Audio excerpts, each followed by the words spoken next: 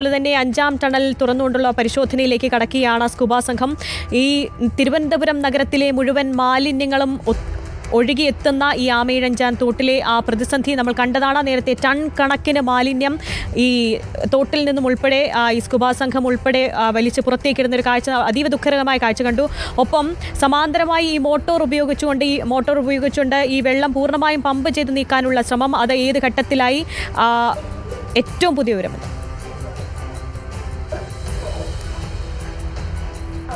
ഞാൻ നേരത്തെ പറഞ്ഞതുപോലെ ആര്യ ഇവർ സ്ട്രാറ്റജിയിലെ ഒരു മാറ്റമുണ്ട്. നേരത്തെ നമ്മൾ പറഞ്ഞു രണ്ട് രീതിയിലുള്ള പ്ലാനിംഗ് ആണ് ഇവർ നടപ്പിലാക്കുന്നതെന്ന്. അതിലൊന്നാണ് നമ്മൾ ആദ്യം പറഞ്ഞ പതിനഞ്ച് എച്ച് പി ശക്തിയുള്ള കൂറ്റൻ മോട്ടോർ ഉപയോഗിച്ച് ഇതിലെ വെള്ളം മറുഭാഗത്തേക്ക് പെട്ടെന്ന് അടിച്ചു വറ്റിക്കുക എന്നുള്ളത്. ആ സമയത്ത് ശക്തമായി മാലിന്യം ഒഴുകി വരുന്ന കൂട്ടത്തിൽ ഒരുപക്ഷെ ജോയി എവിടെയെങ്കിലും കുടുങ്ങി നിൽക്കുന്നുണ്ടെങ്കിൽ അതിന്റെ കൂടെ വരാനുള്ള സാധ്യതയുണ്ട് എന്നുള്ളതാണ്. അതിൽ രണ്ടാമത്തെ സാധ്യതയായി കണ്ടത് ഈ വെള്ളം ഇങ്ങോട്ടേക്ക് പുറത്തേക്ക് അടിച്ചു കളയുന്നതിന് പകരം വെള്ളം തിരിച്ചങ്ങോട്ടേക്ക് അതായത് ഇപ്പോൾ സ്കൂബ ടീം അംഗങ്ങൾ നിൽക്കുന്ന ഭാഗത്തേക്ക് അടിച്ച് കയറ്റുക എന്നുള്ളതാണ് അതിന്റെ പ്രധാനപ്പെട്ട ലക്ഷ്യം. അങ്ങനെ വെള്ളം കൂടിക്കഴിഞ്ഞാൽ സ്കൂബ ടീം അംഗങ്ങൾക്ക് യഥേഷ്ടം മൂവ് ചെയ്ത് സെർച്ച് ചെയ്യാനുള്ള ഒരു സൗകര്യം ഉണ്ടാകും എന്നുള്ളതാണ്. അതുകൊണ്ട് തന്നെ ഫയർഫോഴ്സ് ഉദ്യോഗസ്ഥരോട് ഇപ്പോൾ സംസാരിച്ചപ്പോൾ അവർ പറഞ്ഞത് രണ്ടാമത്തെ സ്ട്രാറ്റജി അതായത് ഇപ്പോൾ ഇവർ ചെയ്യുന്നത് നമ്മൾ ഈ കാണുന്നത് പോലെ ഇതിന്റെ ഇപ്പുറം ഭാഗത്തെ അതായത് പവർ ഹൗസ് ഭാഗത്തെ റെയിൽവേ സ്റ്റേഷന്റെ അഞ്ചാമത്തെ പ്ലാറ്റ്ഫോമിന്റെ ഭാഗത്തെ ഓപ്പണിംഗ് അതായത് ജോയ് വീണെടുത്ത് നിന്ന് നൂറ്റി പതിനേഴ് മീറ്ററാണ് ഇതിന്റെ നീളം. അതിന്റെ ഇപ്പുറത്തെ ഓപ്പണിങ്ങിൽ നിന്ന് സ്കൂബ ടീം അകത്തേക്ക് കയറാനുള്ള ഒരു മുന്നൊരുക്കമാണ് നമ്മൾ കാണുന്നത്. ഇവിടെ ഇതുവരെ സ്കൂബ ടീം അംഗങ്ങൾ പരിശോധന നടത്തിയിട്ടില്ല. ഇവിടെ ഫയർഫോഴ്സ് അംഗങ്ങൾ കഴിഞ്ഞ ദിവസം ഏതാണ്ട് പത്ത് മീറ്റർ വരെ പോയിരുന്നു. ഇപ്പോൾ ഇവരുടെ സ്ട്രാറ്റജി ഇവിടുന്ന് അങ്ങോട്ടേക്ക് പതിനഞ്ച് മീറ്റർ കയറാനാണ് ഉദ്ദേശിക്കുന്നത്.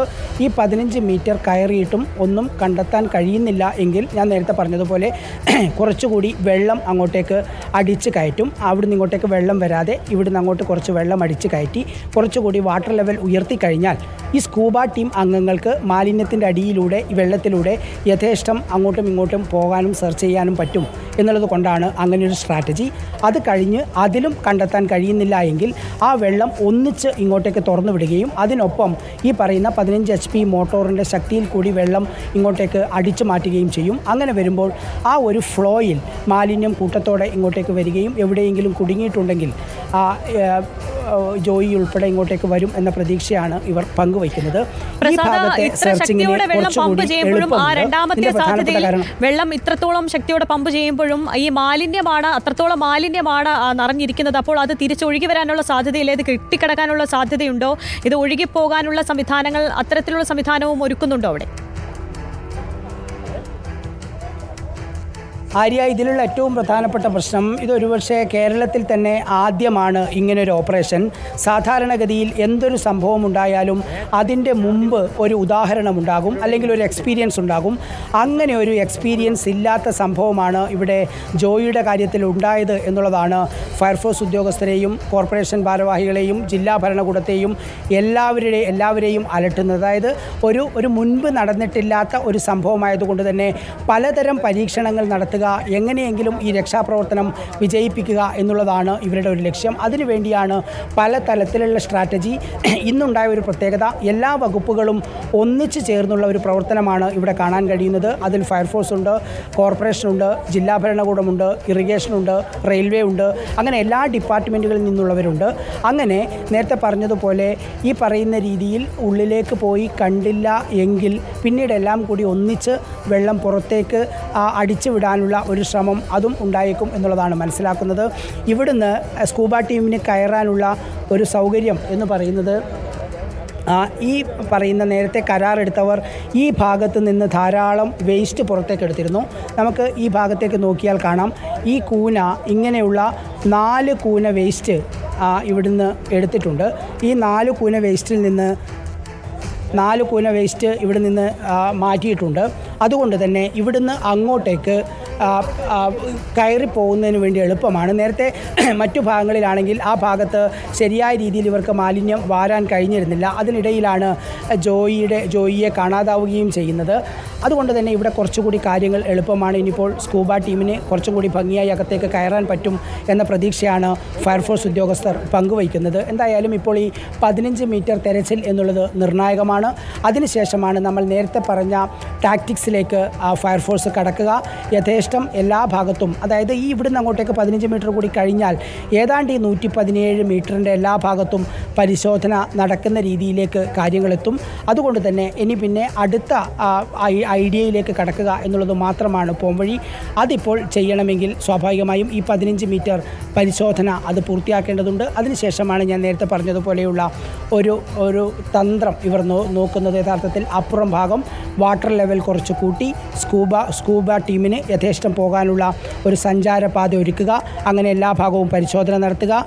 ആ പരിശോധനയിലും കണ്ടില്ലെങ്കിൽ ആ കെട്ടി നിർത്തിയ വെള്ളം ശക്തമായി താഴേക്ക് ഒഴുക്കി വിടുന്നതിനൊപ്പം മോട്ടോർ വഴിയും ശക്തമായി വെള്ളം സക്ക് ചെയ്തെടുക്കുക. ആ ഫ്ലോയിൽ കടന്നു വരും എന്ന പ്രതീക്ഷയാണുള്ളത്. എന്തായാലും ഇന്നത്തെ ദിവസം ഈ സമയം ഏറെ നിർണായകമാണ്. ഇത്ര സമയം നമ്മൾ സംസാരിച്ചത് മറുഭാഗത്തെ ഓപ്പണിങ്ങിനെ കുറിച്ചും അവിടെ രണ്ട് മൂന്നാമത്തെയും നാലാമത്തെയും പ്ലാറ്റ്ഫോമിനിടയിലെ മെയിൻ ഹോളിനെയും കുറിച്ചാണെങ്കിൽ ഇവിടെ ഇപ്പോൾ നടക്കുന്നത് മറുഭാഗത്തെ അതായത് പവർ ഹൗസ് റോഡിന്റെ ഭാഗത്തെ ഓപ്പണിങ്ങിലുള്ള പരിശോധനയാണ് ഏറ്റവും നിർണായകം എന്നുള്ളതാണ് ഇതിലെ പ്രധാനപ്പെട്ട കാര്യം. പ്രസാദ് നമ്മൾ നേരത്തെ കണ്ടതാണ് നേരത്തെ ആ ടണൽ വഴിയുള്ള സ്കൂബ ടീം അകത്തേക്ക് പ്രവേശിച്ചപ്പോൾ ഒന്ന് നിവർന്നു നിൽക്കാനുള്ള ഒരു സാഹചര്യം പോലും ഉണ്ടായിരുന്നില്ല. അത്രയും ഇടുങ്ങിയേറിയ ഒരു ടണലായിരുന്നു ഇപ്പോൾ അതിനെ അപേക്ഷിച്ച് ഇത് കുറച്ചുകൂടി അല്പം വീതിയുമുണ്ട്. ഒന്ന് നിവർന്നു നിൽക്കാനുള്ള ഒരു സാധ്യതയും സ്കുബ ടീമിനുണ്ട് എന്ന് തോന്നുന്നു. അപ്പോഴും പ്രധാനമായും പ്രതിസന്ധി നേരിടുന്നത് ഇനി ഇതിന്റെ ഉള്ളിൽ കെട്ടിക്കിടക്കുന്ന മാലിന്യം അത് പ്ലാസ്റ്റിക് പ്ലാസ്റ്റിക് ഉൾപ്പെടെയുള്ള മാലിന്യങ്ങൾ അത് എത്രത്തോളമാണ് എന്നുള്ളത് തന്നെയല്ലേ?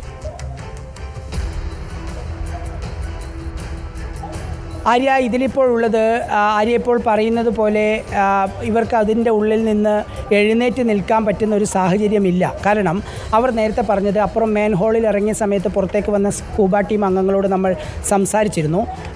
അവർ പറഞ്ഞത് ഒരു ഒരു കട്ടി പോലെ ഒരു അതായത് ഒരു ഒരു ബെഡ് പോലെ ഒരു വലിയ കട്ടിയായിട്ട് വെള്ളത്തിന്റെ മുകളിൽ ഇതിങ്ങനെ കെട്ടിക്കിടക്കുകയാണ്. അപ്പോൾ അതുകൊണ്ട് അവിടെ നിന്ന് തല നീർക്കാൻ തല ഉയർത്താൻ പറ്റുന്നില്ല. അപ്പം അതുകൊണ്ട് ഈ മാലിന്യത്തിന്റെ അടിയിലുള്ള വെള്ളത്തിലൂടെ മൂവ് ചെയ്ത് അതേപോലെ തിരിച്ച് പുറത്തേക്ക് വരിക എന്നുള്ളത് മാത്രമാണ് ഇവർക്ക് മുമ്പിലുള്ള പോംവഴി ഇതിലിപ്പോൾ നമുക്ക് ദൃശ്യങ്ങളിൽ കാണുന്നത് ഞാൻ നേരത്തെ കാണിച്ചതുപോലെ ഇവിടെ നിന്ന് ധാരാളം മാലിന്യം നീക്കിയത് കൊണ്ട് തന്നെ ഇവിടെ നിന്ന് കുറച്ച് അങ്ങോട്ടേക്ക് കുറച്ചുകൂടി എളുപ്പമാണ് എന്ന് ഇവിടെ നിന്നുള്ള ദൃശ്യങ്ങൾ കാണുമ്പോൾ തോന്നുന്നു. പക്ഷേ അകത്തേക്ക് പോകുമ്പോൾ അവർ നേരത്തെ പറഞ്ഞതുപോലെയുള്ള സ്ഥിതി തന്നെ ആകാനാണ് കാരണം. കാരണം ഇതിലൊരു പ്രശ്നമുള്ളത് ഇതൊരു അഞ്ച് വർഷത്തെ മാലിന്യമുണ്ട് ആര്യ ഇതിനകത്ത്. ഏതാണ്ട് രണ്ടായിരത്തി പത്തൊമ്പതിലോ മറ്റോ ആണ് അവസാനമായി റെയിൽവേ ഇത് ക്ലീൻ ചെയ്തത്.